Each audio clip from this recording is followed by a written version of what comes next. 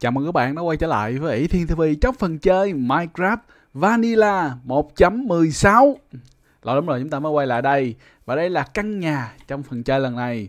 Thì căn nhà này à, mình xây dựng theo phong cách của Minecraft Dungeon. Nếu mà các bạn có theo dõi Minecraft Dungeon của mình trong những chương trình truyền hình trực tiếp Thì đây là căn nhà đó. Cố gắng hết sức để có thể phục dựng lại căn nhà ở trong Minecraft Dungeon. Và chỉ bên ngoài thôi nha Phục dựng bên ngoài thôi thì à, cũng có một vài chỗ không có rõ lắm thì mình đã phải tự à, chế ra thêm. Rồi ta sẽ đi một vòng xung quanh ngôi nhà. Ở đây có chỗ nấu đồ. Chỗ đó là vô cùng đơn giản. Ủa, sao còn cái thùng đây nữa? Thùng chưa dọn đồ nữa hả? Tạm thời để đây thôi. Và ngôi nhà này thế mình nhớ là trong Minecraft tinh chân nó hình như là còn một cái ống khói đây nữa. Nhưng mà ở đây mình không có xài ống khói. Trong nhà này nó nực lắm rồi, nóng lắm. Cần gì phải có ống khói. Và đi ra xung quanh là thấy có trồng thêm mấy cây berry vui vui nè, thấy không? Và qua dòng bên này, rất thoải mái luôn, bên trong rộng lắm. Và bên trong thì mình xây theo thiết kế của riêng mình, chứ mình không có xây theo thiết kế của Minecraft Dungeon. Giờ ta sẽ đi vô bên trong, mở cửa ra, đi vô. Và trong này thì có chỗ, tất cả mọi thứ chúng ta cần có thể đem vô trong này. Rồi có thể có chỗ ngủ và tiên bấm một cái, không biết chuyện gì xảy ra. Rồi lên đây nhìn xung quanh, bức tường này dày hai ô ha, để ờ, có được ờ, cái ờ, sức cản gió và giữ ấm tốt hơn. Ủa, mới nói trời nóng mà cần gì phải có giữ ấm đây nữa. Vô nhà à, giữ ấm làm gì nữa? Trời đang nóng thấy ghê luôn. Nói chung là nhà bằng đá thì nó ở bên ờ, ngoài nó sẽ rất là mát, nhưng mà bên trong thì phải cần có sự ấm cúng. Ở trên có mấy miếng kiến lấy sáng vô, người ta lấy sáng vô rất là nhiều chỗ. Rồi giờ ta sẽ chạy qua bên kia. Bên đó là cánh cửa Nether. Cánh cửa này là mình tìm được mình đi, mình phát hiện trong những tập đầu tiên, không có cần phải làm nhiều. Phát hiện được liền. Và qua đây có một bé ngựa, bạch mã hoàng tử xuất hiện. Bé ngựa đang ờ, ăn gì đó. Giờ cưỡi ngựa chạy một vòng chút. Và ở bên này nữa, ở đây có chỗ ờ, trồng cây nè. Tất cả thức ăn của mình đều lấy từ đây. Ở đây thì đang có chỗ để trồng cây lấy gỗ. Và trời chuẩn bị tối nữa rồi. Nhanh quá. Bởi đây thì có rất nhiều thứ đa phần sẽ là những cái đồ mà mình thu hoạch được. Có rất nhiều da luôn nè. Rồi đồ vàng, đồ kim cương. Kim cương luôn nè, thấy không? Rồi ngọc lưu ly này nọ. Quá dữ luôn. Và bên đây. Và trong phần chơi lần này thì mình có nói ngay từ tập đầu tiên là ta sẽ tập trung vào đi khám phá những nội dung mới của phiên bản 1.15 và 1.16 thì chúng ta cũng đã khám phá được rất là nhiều thứ. Và chủ yếu phần 1.16 là sẽ tập trung ở trong Nether là chính. Ví dụ như cái cửa. Trong những phiên bản trước là mình có cái cửa giống vậy. Trong phiên bản này lại có cái cửa. Cái cửa để chúng ta có thể dựng lên cái chỗ đi qua Nether luôn. Không có cần phải đi xuống gì kiếm hắc diệm thạch rồi làm gì đó khó khăn hết trơn á đó.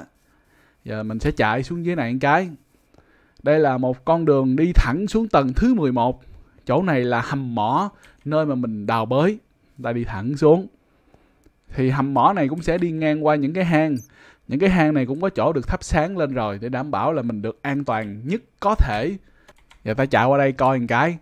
Và chỗ này cũng được thắp sáng luôn và khoáng sản tùm lum tùm la hết. Là một con đường dẫn về phía bên này chắc tới đường cục luôn á. Và đi xông vô khám phá. Đây là đâu? Đường cục hết đường rồi, quay lại. Được cái là mấy cái hang này nó là đường cục ta đi vô khám phá thôi và đây là phiên bản 1.16 cho nên chưa có hang động của Amethyst đâu nha. Giờ ta phải đi xuống bên dưới cái đã. Thẳng xuống bên dưới. Chút xíu nữa là tới rồi, thấy không? Đây là chỗ mà mình đang đào bới. Chúng ta sẽ có những con đường như vậy. Đây người ta gọi là brand mine. Thì cái này brand mine chưa nhiều. Và mỗi một con đường này mình đào cỡ ờ, 200 ô. Thì tối đa là 200 ô á. Nhưng mà mình cố gắng mình đào thiệt nhiều chỗ nào có nhâm thạch thì đổ nước qua một cái đi qua luôn. Và để đi tới hết con đường coi. Ủa, có đồ ăn không vậy? Không có đồ ăn. Sao kỳ vậy? Không có biến đồ ăn nó trơn vậy? Giờ ờ, chạy đi xong rồi lát nữa đói bụng chạy về. Và kim cương kim cương. Sao có con kia nữa? Thôi, tôi không có đồ ăn. Chúng ta phải chạy về. Chạy về ngủ một cái lấy đồ ăn phát. Ở trên kia mình vẫn còn ờ, mấy củ cà rốt. Mình sẽ làm cà rốt vàng ta cần phải chạy thiệt nhanh coi nào. Ở đây á, chúng ta đi hai ô là có thể bấm nút chạy xong rồi nhảy tưng tưng vậy nè. Đi rất là nhanh luôn á, nhưng mà cần phải đi ngủ một phát. Trên đó bây giờ ghê lắm. Ngủ dậy rồi là có thể lên trển làm đồ ăn được rồi đó. Lên đi. Đồ ăn đâu? Đang trồng cà rốt ở trển. Và nghe tiếng có con zombie, nó kêu kêu. Lên trển lên trển. Rồi qua đây. Cà rốt 45 củ, vàng 20 khối. Đã không? Rồi, chuyển đổi pen cà rốt vàng. Bấm vô golden cà rốt pen, vậy cho gọn. Và ta còn dư lại thì mình sẽ cất vô. Để đừng có đem theo nhiều đồ giá trị quá, fire chạc gilded blackstone, ancient debris, cất vô luôn. Giờ cần phải cất vô và quên. Chơi mod là cứ bấm short inventory hoài à. Cái này đâu có short inventory được đâu giờ phải có short inventory được ha. Tự động bấm cái dọn lại hết toàn bộ luôn. Và có con gì trên kia? Không không có. Nhìn tưởng con xương đứng trong đó không à. Rồi bây giờ cần phải có một cục sắt nữa. Chúng ta lấy một cục. Và có gỗ không? Nhìn coi gỗ đâu. À, gỗ đây cũng được. Chúng ta sẽ cần có hai miếng gỗ để làm một cái khiên. Lát nữa ta sẽ đi qua nether cho nên phải có gì đó bảo vệ mình chứ rồi giờ cần cất này vô. Cất cái thùng này vô luôn. Và con ngựa đâu? Ngựa ơi! Bách má đi đâu vậy? Giờ ở yên đó nghe chưa? Không được đi đâu đâu đó. Giờ ta sẽ bước qua nether bằng cái cửa này luôn. Bước qua. Đi qua nether và bên nether trong phiên bản 1.16 là có thêm nhiều thứ mới lạ. Và chỗ này cũng rất là nguy hiểm. À, nếu không có đồ vàng trên người thì tốt nhất là bạn nên cầm một cục vàng thì nó sẽ hay hơn. Dạ, à, ta qua đây. Zombie pigman đã bị thay đổi. Bây giờ à, mấy bé này không còn là zombie pigman nữa. Nhìn thì cũng giống zombie pigman thôi nhưng mà mấy bé này tên là gì? Tên là Pickling Zombify Pickling và mình có một cái chỗ để có thể uh, có respawn point ở Nether. Chúng ta có thể uh, sống lại ngay tại đây trong trường hợp xấu nhất. Rồi, mấy bé này là mê vàng lắm nè. Rồi uh, mấy bé kia chứ mấy bé mà không có phải zombify á và đằng kia có một cái cửa nữa. Cái cửa đó là cái cửa mà mình tìm được. Chúng ta thấy có những cái phần vàng bên đó rất là nhiều luôn á. Giờ đi qua bển coi một cái. Chạy qua bển. Leo lên trên đây. Ồ, khoan. Nãy giờ chưa ăn uống gì hết trơn vậy? Ăn uống vô. Rồi, ăn uống vô rồi đó. Đây là vàng nè. Giờ đập vàng ra. Được những cục vàng nhỏ nhỏ. Đập tiếp. Không ai thấy. Tranh thủ gom vàng của tụi nó đi. Nó không phát hiện chắc là tụi nó không có đủ thông minh để biết được trong này có vàng. Còn đây là đường để mình đi bọc qua cái phần nhâm thạch bên đó. Chúng ta đi qua. Leo lên đây. Và nhớ cẩn thận nha rớt xuống dưới là thôi luôn á. Giờ mấy bé trên đây vẫn còn đứng nhìn mình thôi. À, đây đây đây đây. Mấy bé nhỏ nhỏ rồi nè. Đẩy cái coi. Không sao. Và đội nón vàng luôn kìa phải không? À, để mình vô đây phát đây là một chỗ dẫn mình đi qua chỗ khác nè. Chúng ta sẽ được dịch chuyển qua hả? Sao có đây nữa? Ở đây là cách nhà cũng xa lắm á. Ở đây à, cách nhà hình như là cỡ gần à, uh, 500 mét ngàn mét gì đó. Chờ bước vô. Đuổi nó ra. Không cho nó dịch chuyển về nữa. Nó đi luôn rồi. Đuổi nó cho nó đi luôn rồi. Và bên đây là một trong những phần cập nhật của Nether 1.16 chúng ta sẽ thấy những bé Pickling và sẽ có nguyên một khu rừng màu đỏ. Rồi sẽ có một khu rừng màu xanh nữa. Màu xanh với màu đỏ thì nó cũng như nhau thôi. Và sẽ có một cái khu vực đặc biệt nữa. Bây giờ cần phải đi ngược lại. Giờ ngược lại đây. Đường đâu rồi ta? Đường đây. Chúng ta nhìn xuống bên dưới. Mấy bé dưới đó đang uh, vui chơi. Và cần phải chạy ngược về. Đi theo hướng bên kia thì ta sẽ qua những nơi khác. Vô đây vô đây. Rồi đi ngược về đây chỗ này mình có đặt đá cuội để đi qua cho thoải mái. Và nhớ cẩn thận nha. Nhảy nhảy tưng tưng một hồi là lao xuống dưới hồi nào không hay luôn á. Rồi đi thẳng về hướng này ta sẽ đi qua một vài nơi thú vị lắm. Và chạy thẳng vô đây. Có một con đường được mình đào ra. Có dấu vết của mình ở trỏng chứ hang động bình thường làm gì mà có thể thẳng như thế này được. Đây rồi ta tới một cái nơi mới đây là nơi có tro núi lửa, bay mù mịt luôn nè, thấy không? Nơi này bay mù mịt luôn á. Và ở trong đây thì ta sẽ không thấy mấy con pickling mà mình sẽ lâu lâu thấy được con mắt ma khấp. Mắt ma khấp đúng rồi. Mấy con kẹo ma á, đó, mấy con kẹo ma mới nhảy tưng tưng kìa. Và ta đi ngược về, để đi tiếp. Thì những cục đá này chủ yếu là làm đẹp thôi. Ở đây thì mình có chỗ, mình xây dựng một con đường đi đi thẳng qua bển luôn muốn gì hả cưng? Giờ đi ngang thôi, đừng có chọc nó. Và đây là tòa thành mà chúng ta đã từng vô vơ vét, lấy hết rất nhiều thứ. Và tòa thành này có nhiều thiết kế lắm. Mỗi tòa thành sẽ có những cái món khác nhau ở trong đó. Và chủ yếu là có mấy con pickling ở trong này thôi. Giờ vô đây, một đám luôn. Giờ vô coi. Hello hello. Có nhâm thạch, có này nọ. Và tòa thành này ẩn chứa rất nhiều bí mật. Chúng ta ra đây có một phần của cây cầu nè. Ta có thể ra đây chơi. Rồi chỗ này, nhớ là đi cẩn thận. Đi không cẩn thận là rớt xuống dưới luôn á. Và chỗ này rất là bự luôn nè, thấy không? Ở đây nó có mấy cái cục ghiêu địch ghiêu địch quá chừng luôn. Rồi nhìn xuống dưới nữa. Bây giờ vô trong cái đi. Vô trong một phát. Giờ mình sẽ đào xuống bên dưới. Đào xuống dưới, ta cần phải đào hai ô. Đào xuống nha nghe tiếng nhầm thạch. Oh yeah. À dạ đào xuống mình té ngay tại đây. Rồi, tiếp tục. Chúng ta đào xuống. Ở đây có đường xuống nãy, không xuống. Giờ đào xuống dưới. Chúng ta đào xuống. Đào xuống tới cái móng của tòa thành này luôn. Và có gì đây? Xuống đây. Ở đây là một đường xuống. Và nó có cái đường xuống hang. Xuống ra ngay tại đây. Nhìn qua, nhìn lại.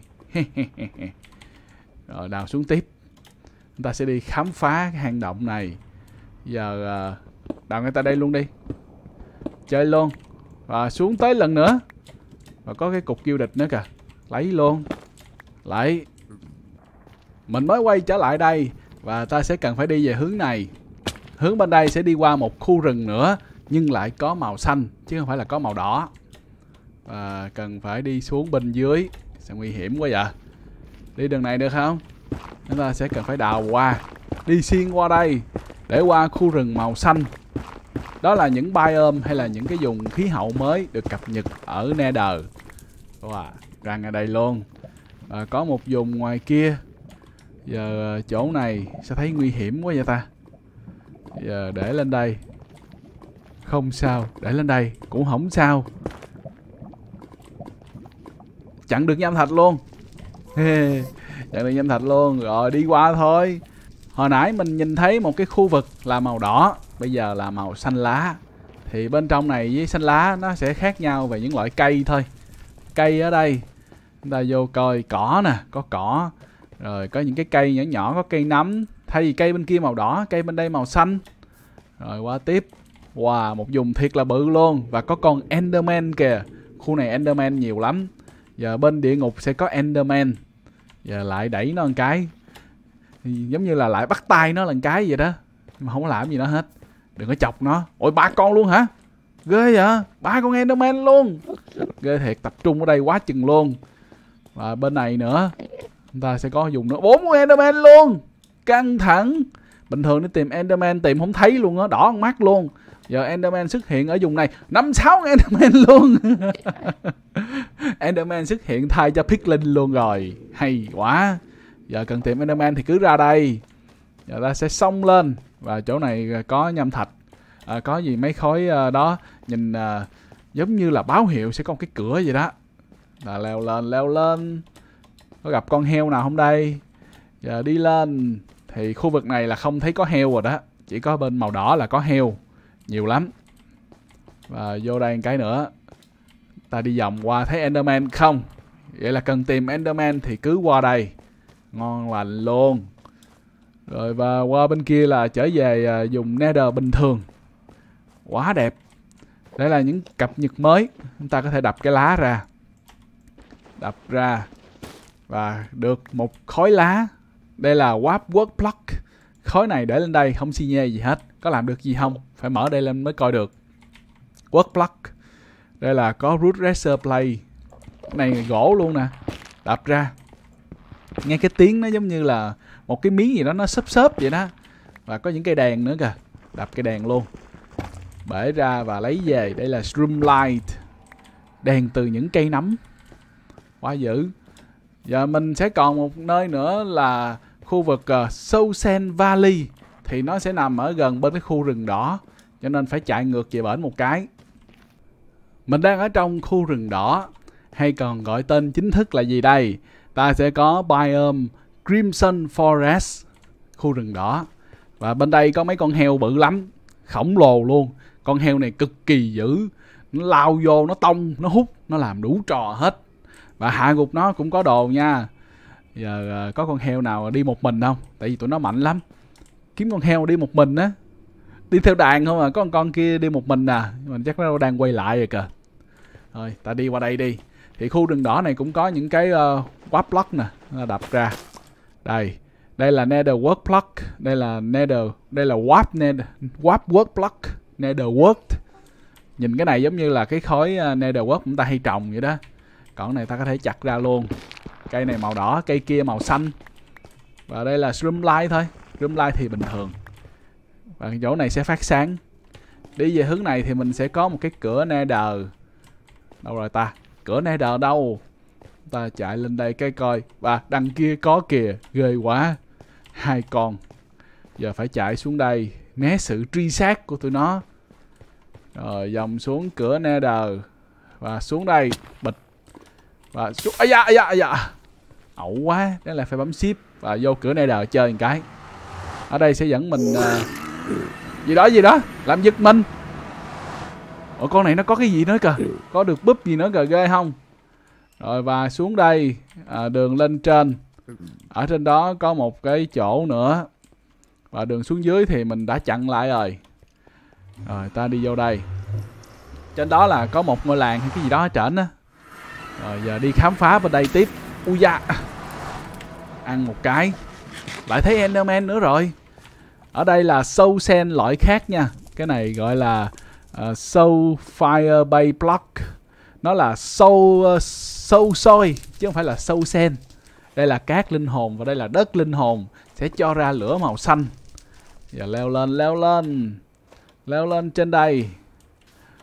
Và lên tiếp lên tiếp. Ủa đường này sao lên nữa? Phải đổi hướng thôi. Và cái này làm mình đi rất là chậm luôn á à, mình không đem theo cái cường quá để có thể đi trên đây nhanh. Có một loại cường quá mới giúp chúng ta đi trên những cái khối này cực kỳ nhanh. Và có chỗ để ta đi lên nè. Rồi đi lên thôi. Leo lên. Và lên tiếp. Có chỗ để leo lên lên nơi thiệt cao nhìn xung quanh. Và không khí ở đây là có màu hơi xanh dương chút. Ta lên nhìn qua bên này. Và có con xương cầm một cái cung được cường quá luôn. Nhìn rất là mạnh luôn á. Và bên dưới có mấy cái con ờ, đang bơi trong nhâm thạch. Ở đây là những con xương trắng không à? Rồi nhìn có những cây cột nữa kìa. Cây cột này từ dưới đất đi lên luôn. Giờ để qua chiến đấu cái coi. Chúng ta sẽ qua đột kích con xương. Gọi là đột kích chứ nó thấy mình mất tiêu rồi. Giờ nó dương cung lên. Ui da, dương cung lên rồi hả? Dương lên dương lên. Và hạ gục còn đây là những khối xương. Ta có thể lấy xương được á. À, mấy con kia nó vừa xuất hiện nữa kìa. Xương bên kia cũng một đống luôn. Quá đã luôn. Và vô trong nether này còn một món nữa là netherite. Thì netherite sẽ cần phải đi tìm những khối ancient debris. Chúng ta sẽ phải tìm những cái khối đó. Thì những cái khối đặc biệt đó nằm uh, trộn lẫn ở trong lòng đất. Phải đào ra thì mới tìm thấy được thì uh, những cái phần đó mình sẽ để dành cho phiên bản kế tiếp là phiên bản 1.17 hiện tại chúng ta đang có nắp shot 1.17 thì ta sẽ để qua bên đó luôn. Còn bây giờ để chiến đấu với con gát một cái. Nó không làm gì mình hết. Giờ mới nói chiến đấu với nó. Nó không làm gì thì thôi. Và có rồi kìa. Vô đây. Chiến đấu. Vô đây hãy chiến đấu đi. Và trúng không? Ôi nó né. Nó biết né luôn kìa. Ao. Lửa xanh nha. Rồi rồi rồi. Lửa xanh. Tôi không muốn chơi rồi bắn một cái cho biết. Có khi nào chết luôn không ta? Có khi nào chết luôn không? Ờ chậm quá. Rồi. Oh yeah, Hay quá, Té chết luôn. Respawn là ngay tại đây. Rồi đó, Ta đã thấy được sức mạnh của cái respawn này rồi. Giúp mình có thể hồi sinh ngay tại đây. Thì mình sẽ đi lấy lại đồ. Nói tóm lại, mình đã tóm tắt hết tất cả những nội dung mà mình đã điểm qua trong phần chơi 1.16 lần này, đúng với tinh thần khám phá. Hiện tại thì phiên bản 1.17 cũng đã có snapshot và cũng đã có một chương trình đang được thực hiện. Các bạn nhớ đón theo dõi nhé. Còn bây giờ chúng ta sẽ chính thức kết thúc phần khám phá phiên bản 1.15 và 1.16 tại đây. hẹn gặp lại các bạn trong phiên bản kế tiếp bye bye